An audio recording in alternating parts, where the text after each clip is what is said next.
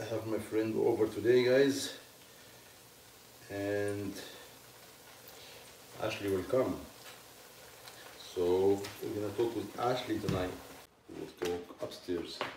Ashley gonna join us.